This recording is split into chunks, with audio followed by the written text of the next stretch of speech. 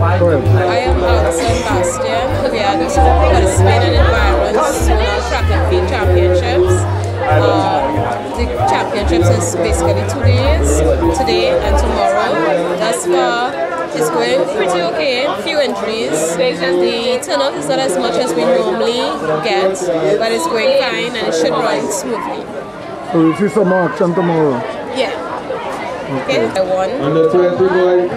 Relays and tomorrow we have the 200, 800s and the 4x4 relays. Thank you so much. You're welcome.